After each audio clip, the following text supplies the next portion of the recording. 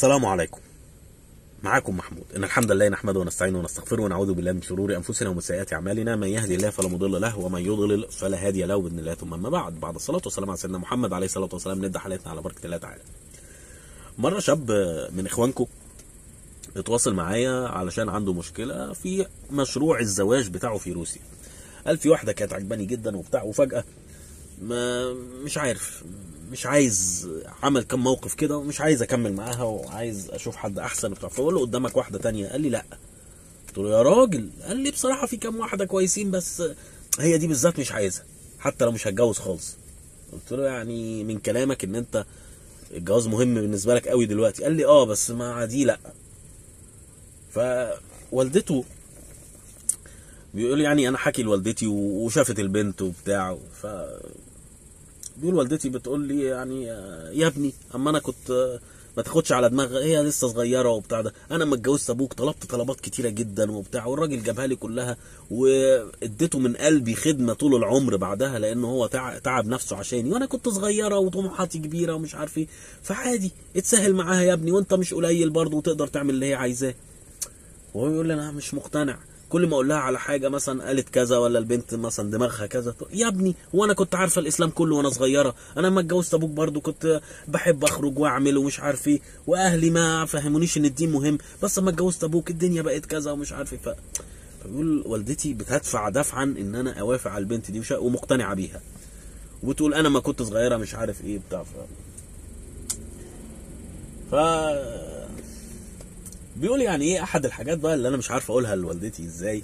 بس بيقول إيه في وسط الكلام كده وهي والدتي عماله بقى بيقول كل ما أكلمها تقول له ما أنا لما كنت صغيرة كنت مش عارف إيه وبتاع.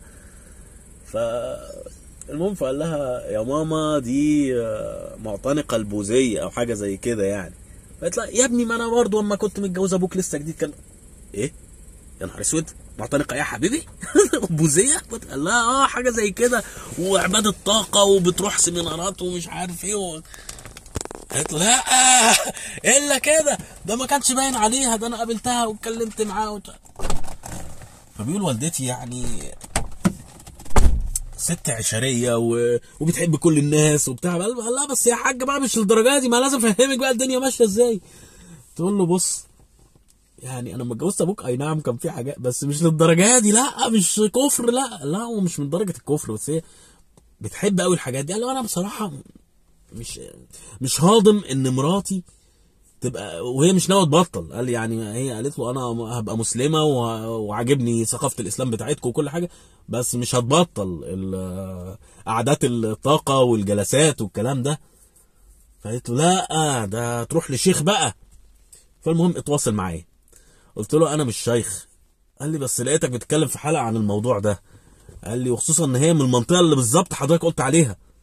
قال لي هي من تشيلابنسك فقال لي آه، مدام والدتي يعني حباها وبيقول والدتي يعني إيه شافت القناة بتاعت حضرتك وهي اللي قالت لي يعني قالت فلان اتكلم على آه، البنات بيعتنقوا ومش عارف إيه وإن فيه هنود. فاعرف بقى كانت مرتبطة بواحد هندي قبل كده ولا إيه وبتاع. فبيقول فردت لي يعني الحلقات بتاعت حضرتك فتواصلت معاك علشان الموضوع ده.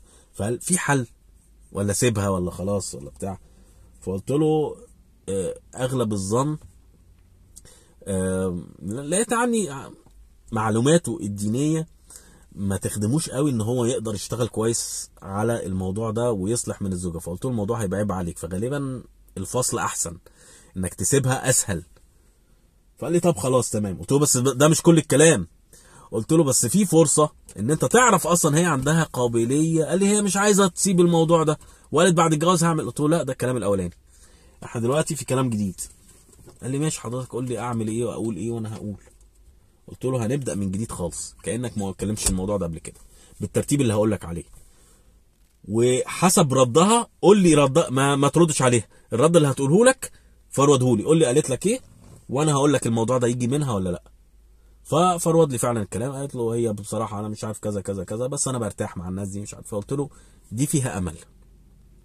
فيها أمل في الإصلاح. فقال لي يعني ما سيبهاش. قلت له غالبا آه. قلت له بس ما فيش جواز قبل ما نوصل لمرحلة كذا. قال لي ده إحنا كنا يعني هي بتتكلم على الجواز بعد المفروض في الأجازة. هن- هنخلص امتحانات بعد شهرين. يعني المفروض بعد 3 4 شهور الجواز. قال وأنا عايز أفلسع. قلت له في بعدين هنتكلم هنتكلم عليهم. اولا المشكلة دي هي المشكلة الوحيدة ولا أنت حاسس إن أنت اتسربعت وهترتبط بسرعة وعايز تجيب خطوات لورا؟ تتأكد من الموضوع ده من جوه نفسك الأول. هل أنت في ناس بقى هيموتوا ويتجوز وما تجيله واحدة كويسة ومش عارف إيه وهي بتقول له هنتجوز إمتى بقى؟ تلاقيه يبتدي يتراجع يقول لك لا لا كنت اتسرعت لحسن الاقي حاجة أحسن الشيطان هو اللي بيلعب له في دماغه في الحتة دي. فقلت له اتأكد من الحتة دي الأول. فالمهم فعلا قال لي يظهر إن عندي آه فعلا نزغ الشيطان وبتاع أنا مش عارف ليه بتراجع هي كويسة وأمي شافتها وكوي قال بس هي حتة البوذية والكلام ده. قلت له ما تطمنا أهو قلت لك ما هي ماشية معاك في البرنامج اللي إحنا حطيناه. قال هي بتستجيب والدنيا كويسة بس أنا خايف من المفاجآت ومش عارف. قلت له لا ما تخليش الشيطان يخليك ترتجف كده. فالمهم الحمد لله ربنا وفقه وتزوج ونحسبها على خير بيقول ماشية كويس يعني. لكن آه، الفكرة اللي عايز أقولها لكم يا جماعة مش بس فكرة البوذية في أفكار كتيرة. آه، مش حلوة. آه، فيها شرك فيها إيمان بالسحر إيمان بالدجل إيمان بال- بالخزعبلات بالأرواح الشريرة. وفي ناس مننا للأسف بيتبعها. هل ده معناه إن هو وعلى فكرة الدين بيكفر الموضوع ده؟ عارفين إن اللي بيتبع ساحرا ويصدقه ده طبعا بيبقى فيها خروج من المله وشرك. ولكن آه، هل الناس دي مش ممكن تس- تستتاب وتفوقها كده؟ آه ممكن. في ناس مش ممكن في مقفول عليها الباب. فلو في أمل معلش ما ترميش بسهولة كده. آه، فواحد يقول لك هو ربنا اللي خلقها ما خلقش غيرها؟ خلق غيرها وطبعا وكل حاجة بس أخشى إن يكون دي هدية ربنا ليك. وفيها عيب صغير مثلا أو مشكلة صغيرة قابلة للحل وأنت ترميها كده. تقول لا مش عايز. أي نعم ربنا ما بيجيبش غير حاجة حلوة وحاجة جميلة بس مين عارف؟ مش أنا. مش ممكن أكون أنا على قد شغلي وعلى قد إيماني جايالي الهدية دي وأنا لو كان إيماني أعلى من كده كنت خدت حاجة أحسن من كده فده على قد مجهودي على قد شغلي. فقعد يقول لك طب ما أنا أشتغل أحسن ويجي لي حاجة أحسن. ماشي أنا موافق. آه سيب دي اللي هي فيها نقائص فيها مشكلة و... بس بشرط إنك تعزم إنك تشتغل أكتر لأن كل الناس اللي اتكلمت معاهم وكان عندهم الحالة دي ترك الفرصة اللي كانت قدامه أو نص الفرصة سميها زي ما تسميها أو اللي فيها عيب أو هكذا وقعد بعدها 3 4 سنين. لا طور من نفسه علشان يحصل على حاجة أحسن وفي نفس الوقت بيدور في حاجات تعبانة.